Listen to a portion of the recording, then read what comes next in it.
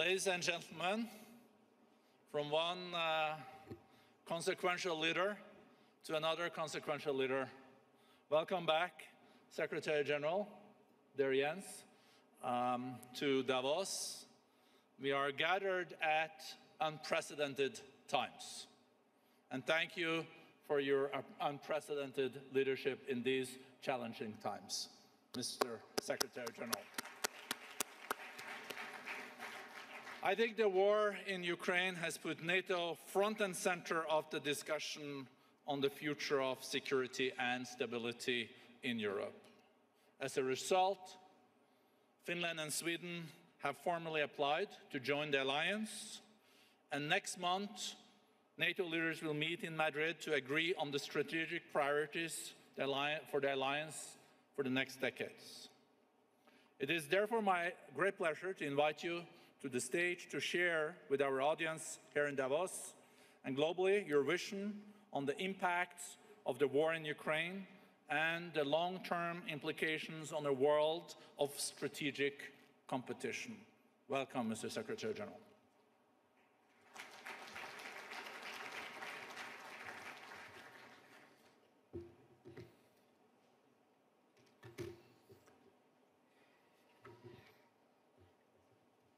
Many thanks, uh, Børge. It's great to be back here in Davos and to see you all in person after two years without this uh, gathering. For half a century, the World Economic Forum has brought uh, the global community together to exchange ideas, insights and uh, solutions on some of the world's most important uh, difficult uh, problems. Today, we need the spirit of Davos even more. Sorry. Yeah. President uh, Putin's uh, war on Ukraine has shattered peace in Europe. It is really a game changer, not just for European security, but for the global order. NATO has two fundamental tasks in response to Russia's aggression. Providing support to Ukraine and preventing the war from escalating. For many years, NATO and NATO allies have supported Ukraine, in particular the United States, Canada, the United Kingdom, and also Turkey. Providing equipment and training for tens of thousands of Ukrainian soldiers. We see the difference this is making every day on the battlefield. Since Russia's invasion, we have significantly stepped up our support with billions of dollars of weapons and other assistance to help Ukraine uphold its right to self-defense, enshrined in the UN Charter. NATO's main responsibility is to protect all allies and prevent this war from escalating, causing even greater death and destruction. We may have been shocked by Russia's brutal invasion, but we should not be surprised. This invasion was one of the best predicted acts of military aggression ever. In NATO, we shared intelligence and we made the intelligence public for many months to warn about Putin's plans. Russia's attack on Ukraine is part of a pattern over many years, where Moscow uses military force to achieve its political games, aims. The destruction of Grozny, the invasion of Georgia, the annexation of Crimea, the bombing of Aleppo, and now the war in Ukraine. Since the first invasion of Ukraine in 2014, NATO has been adapting and preparing with increased defense spending and invested in modern capabilities. we deployed combat-ready battle groups in the eastern part of our alliance for the first time in our history. We increased the readiness of our forces and established new defense domains, including space and cyberspace. When Russia invaded Ukraine again this year, NATO was ready.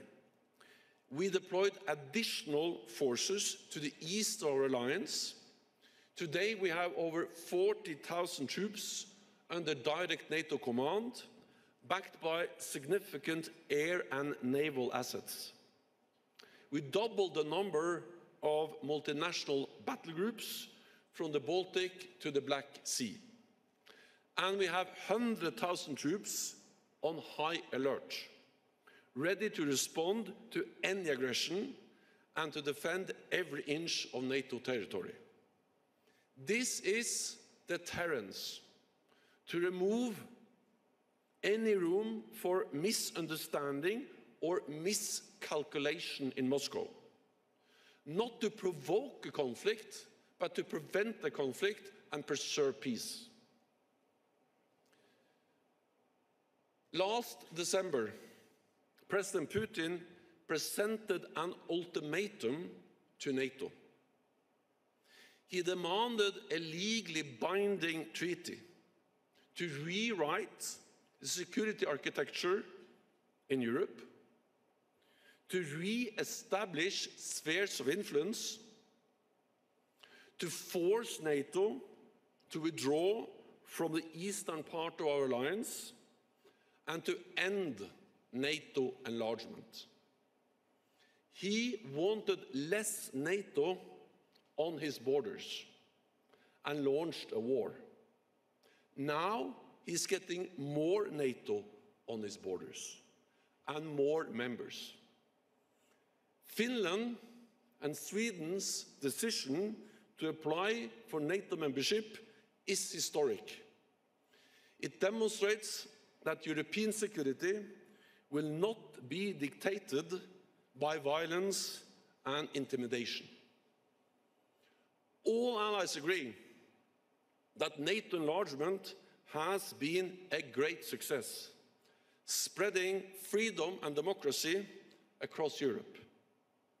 So I'm confident that we will be able to find a way to address all allies' security concerns and welcome NATO's closest partners into our family of free nations.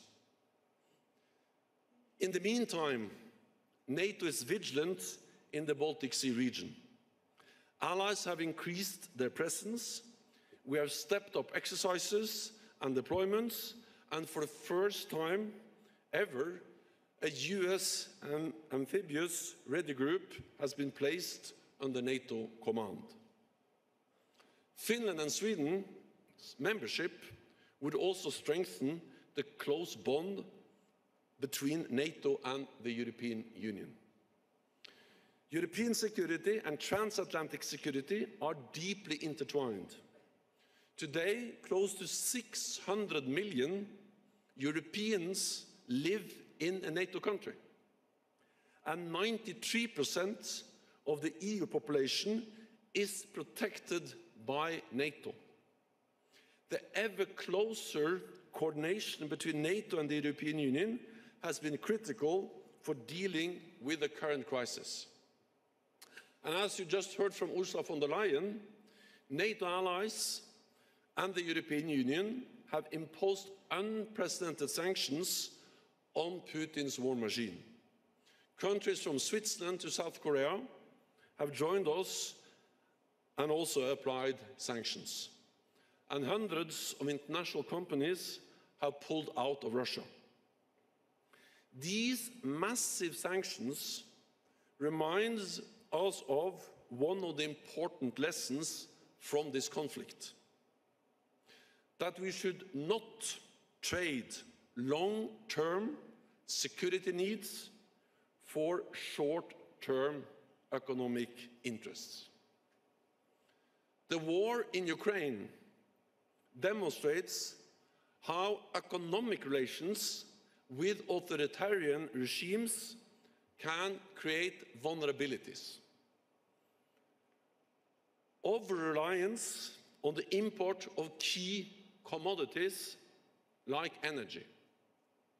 Risks created by exporting advanced technologies like artificial intelligence and weakened resilience caused by foreign control over critical infrastructure like 5G. This is about Russia, but also about China. Another authoritarian regime that does not share our values and that undermines the rules-based international order. International trade has undoubtedly brought great prosperity. I and many of us here today, including Børge Brende, have worked hard to promote a more globalized economy. But we must recognize that our economic choices have consequences for our security. Freedom is more important than free trade. The protection of values is more important than profit.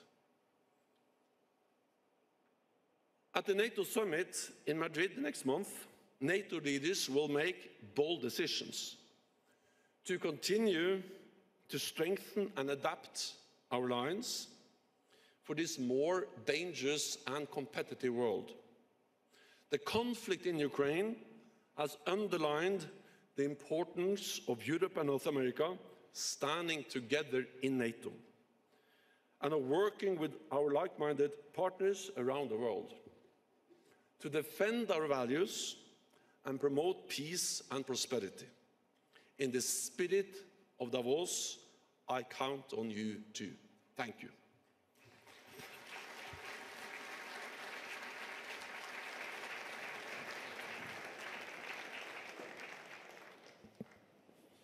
Thank you uh, very much, uh, Secretary General.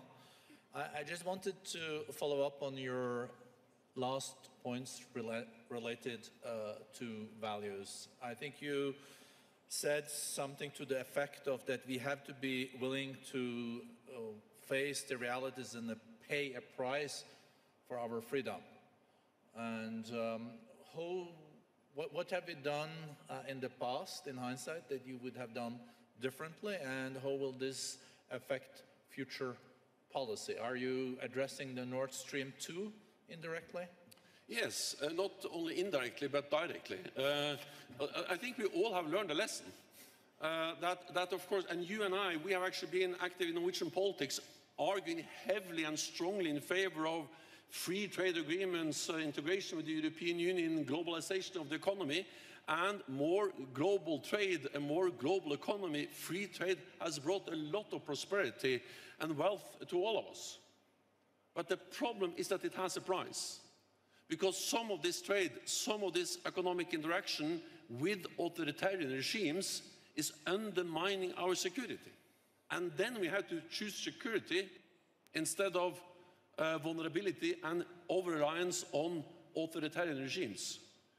So this idea that, you know, we should have free trade in natural gas, meaning we can buy as much gas from Russia as you want, that's wrong. It's dangerous. It provides Russia with a tool to intimidate and to use against us. And that has been clearly demonstrated now. I regret to say it. Because I remember back in the 1990s, I was Minister for Energy in Norway. We actually thought that we could expand the European gas market with supplies from Norway, from North Africa, and from Russia together. Trade with China, of course, there are huge benefits. I'm not arguing against trading with China, but I'm saying that, for instance, the control over 5G networks is of vital security importance.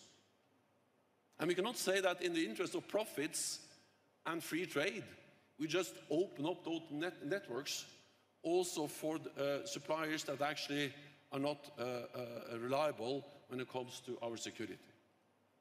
And then the more NATO's technological edge, that we have always been in command of the best and most advanced technologies, has been fundamental for our security.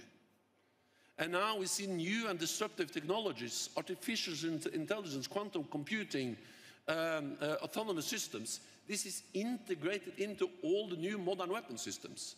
And if you just share that technology, we may earn some money, but we will also undermine our security. And therefore, freedom is more important than free trade, and protecting values is more important than profits. That's a lesson I think we all have to take into account, and meaning that it has to impact the way we organize our economies. Thank you. Uh, Secretary General, you also said that uh, what Putin got as a result of his war on Ukraine was more NATO. Is this developing into like a Vietnam War situation for Mr. Putin? Do you think he regrets this? I will not speculate about his feelings, but he made a big strategic mistake. Because actually, I thought, I, I, I believe that one of the purposes, one of the stated purposes actually with this uh, invasion of Ukraine was to get less NATO on Russia's borders. And in the legally binding treaty, President Putin in Russia sent to NATO in December, they want us to sign, it was clearly stated no more NATO enlargement. And now he gets more NATO enlargement. And he has not achieved his strategic goals in Ukraine. The plan was to take Kiev, uh, to decapitate the government, and to control the country.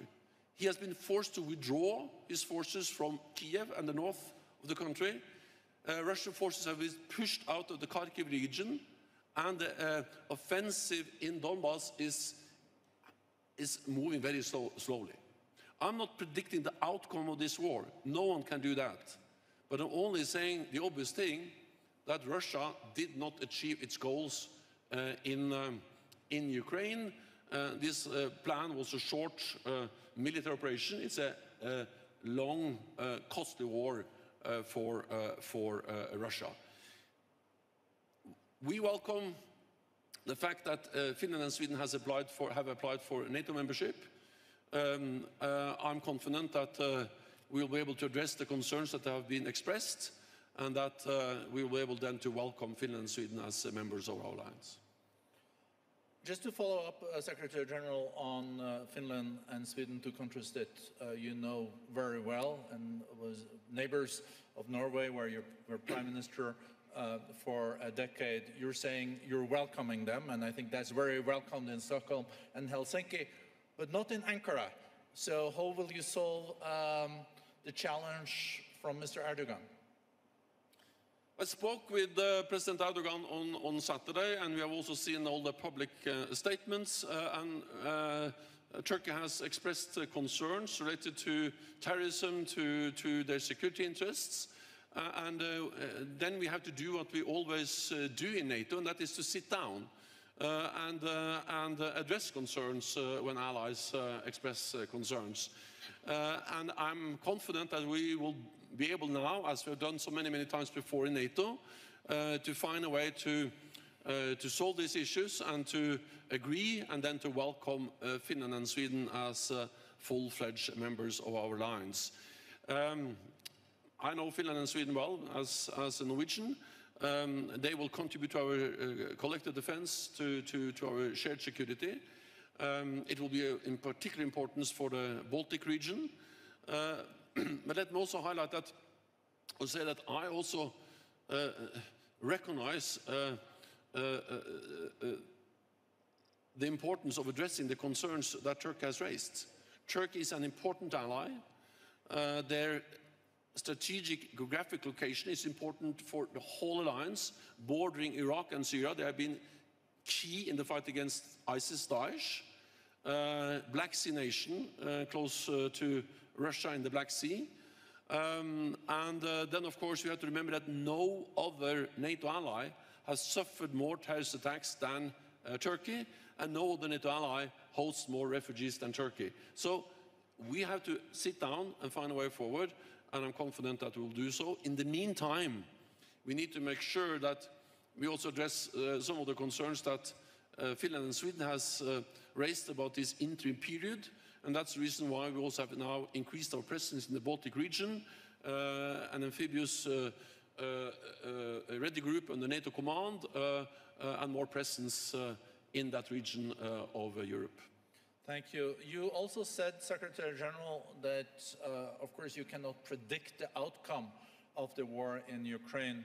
I think many uh, participants uh, at uh, Davos also will ask themselves the question can this end in a full fledged war between Russia or, and NATO?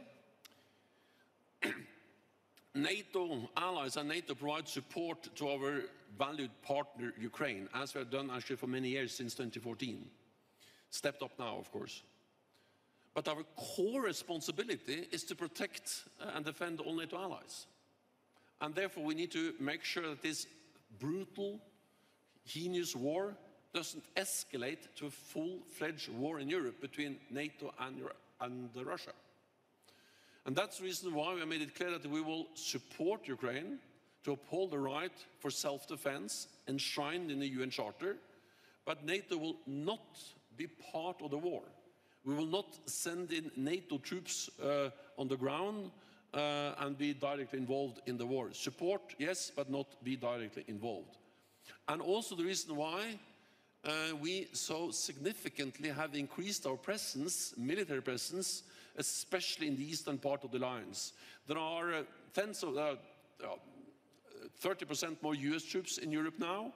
Uh, we have 40,000 troops under direct NATO command in the eastern part of the alliance, uh, significantly uh, increased over the last uh, months since the invasion. Um, uh, and we have significant air and naval pre presence. As this is not to provoke, this is to make sure that there is no room for any miscalculation in Moscow about NATO's readiness to protect every NATO ally. So they don't think about attacking uh, a Baltic country or another uh, NATO ally. As long as they are absolutely certain that the whole of NATO will come to defense of, of any ally, one for all, all for one, the core idea of NATO, then they will not attack. So then we are preventing war, preserving peace. And that's the reason why we have strengthened our deterrence to preserve peace. Thank you. Uh, last question. Uh, we just heard the President of the European Commission, uh, Ursula von der Leyen, talk about Europe's uh, and EU's response to the war by unity and support. How do you feel about the prospects for a closer cooperation between NATO and the EU on security and defense matters moving forward? So I strongly believe in uh, cooperation between the European Union and, um, and uh, NATO. And uh, Ursula von der Leyen and I, we meet regularly. I meet President Charles Michel. Uh, we meet at different levels and in different uh, uh, ways. And, and, I'm proud that since 2014, we have been able to lift NATO-EU cooperation to unprecedented levels. And when Finland and Sweden joins, 96 percent of uh, the people living in the European Union, they will live in a NATO country protected by NATO. And 96% of EU territory will be NATO territory. So we share much of the same population, we share the same neighborhood, we share the same challenges. Of course, it makes all reason uh, to work closer together, NATO and the European Union. And we also see during this crisis how EU has been instrumental in many ways, providing support, uh, imposing sanctions, and then also coordinating closely with NATO allies, the United States, United Kingdom, uh, and, uh, and others. Uh, and I also welcome EU efforts on defense. Because as Ursula von der Leyen just mentioned, for instance, the fragmentation of the European defense industry is a problem for Europe and for NATO. In the United States, there are many battle tanks and one type. In Europe, we have quite few battle tanks and nine different types. No economy of scale, a lot of extra costs for maintenance, education, and so on. And this is the case on almost every capability that is too much fragmentation. So the European Defence Fund, PESCO, all these initiatives by the, by the European Union will help to provide new capabilities, will help to overcome the fragmentation of European defense industry, and will hopefully also help to increase defense spending. That's something NATO has asked for for many years. We very much welcome it. The only thing we have to make sure is that the EU efforts do not compete with NATO or duplicate NATO, because NATO will remain the cornerstone for European security. This is about resources. 80%, 80% of NATO's defense expenditure come from non-EU NATO allies. It's about geography. Norway and Iceland in the north, Turkey in the south, and in the west, the United States, Canada, and the United Kingdom, they are of course critical for the defense of Europe, and it's about politics. Because any attempt to divide Europe and North America will not only weaken NATO, it will divide Europe. So we need Europe and North America together in NATO, strong transatlantic bond, working together with the European Union. Thank you very much, Secretary General. Thank you for your leadership and thank you for being here. Thank you.